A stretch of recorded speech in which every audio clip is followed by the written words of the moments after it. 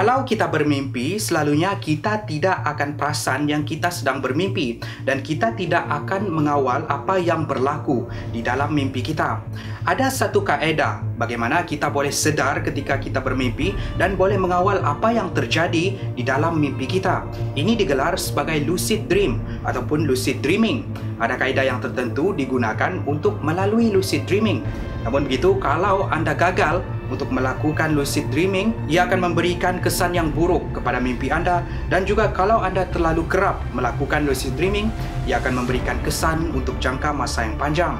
Hai guys, anda bersama saya Ekram dan hari ini satu lagi topik menarik yang akan dikongsikan kepada semua. Kita akan melihat fakta lucid dreaming. Apa itu lucid dream? Bila kita bermimpi, kita tidak akan sedar yang kita sebenarnya sedang bermimpi dan kita tidak akan dapat mengawal apa yang terjadi di dalam mimpi kita tersebut. Lucid dream ataupun lucid dreaming adalah kebolehan untuk sedar yang kita sedang bermimpi dan juga kebolehan untuk mengawal apa yang kita impikan. Ketika melalui lucid dreaming, mimpi kita seperti benar-benar terjadi. Kita boleh lakukan apa sahaja yang kita mahu dan kita suka. Contohnya, terbang ke udara, mempunyai wang yang sangat banyak, mempunyai kuasa dan sebagainya. Untuk anda melalui lucid dreaming memerlukan cara-cara tertentu dan lucid dreaming tidak selalunya indah. Ada kesan buruk pada mereka yang sering mengamalkan lucid dreaming. Antara contoh terbaik untuk menjelaskan lucid dreaming adalah seperti filem Inception yang dilakonkan oleh Leonardo DiCaprio. Cara untuk lucid dreaming. Objektif utama kaedah lucid dreaming adalah untuk anda sedar yang anda sedang bermimpi.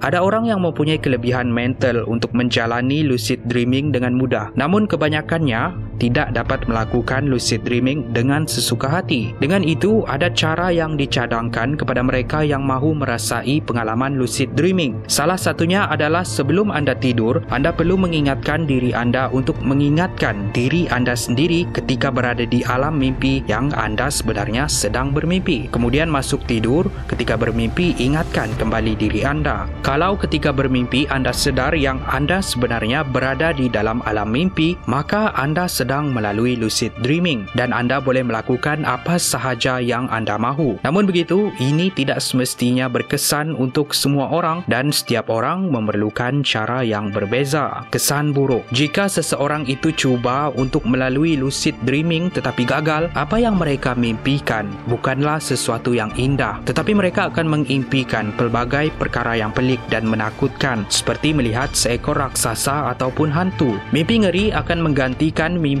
anda pada malam itu. Apa yang menakutkan seperti juga lucid dreaming yang biasa yang anda rasakan seperti benar-benar terjadi, mimpi ngeri itu juga seperti benar-benar terjadi kepada anda. Antara kesan buruk yang lain pula melibatkan mereka yang sering melalui lucid dreaming. Ada yang melaporkan akibat terlalu kerap melakukan lucid dreaming mereka tidak dapat membezakan realiti dan juga alam mimpi. Seperti juga filem Inception, bila watak Leonardo DiCaprio tidak dapat keluar dari alam mimpi ketika lucid dreaming kerana dia tidak dapat membezakan di antara alam realiti ataupun alam mimpi. Jika kekeliruan ini menjadi semakin kronik dan teruk, ia boleh menyebabkan gangguan mental dan perlu dirawat. Terima kasih kerana menonton. Itu adalah fakta tentang lucid dreaming. Mungkin anda ada pengalaman anda sendiri tentang tentang topik ini ataupun pernah melalui lucid dreaming, pastikan anda tinggalkan komen anda di ruangan di bawah. Apa-apa pun, pastikan anda like dan share kalau anda rasa video ini menarik dan bermanfaat. Pastikan anda subscribe dan paling penting, tekan butang lonceng di sebelah butang subscribe untuk mendapatkan message setiap kali kami memuat naik video. Pada yang menonton di Facebook, Instagram dan Twitter, pastikan anda like dan follow kami di sana.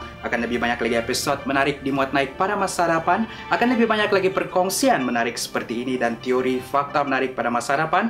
Saya jumpa anda di episod yang seterusnya. Kubi Kubi Go, menarik setiap hari.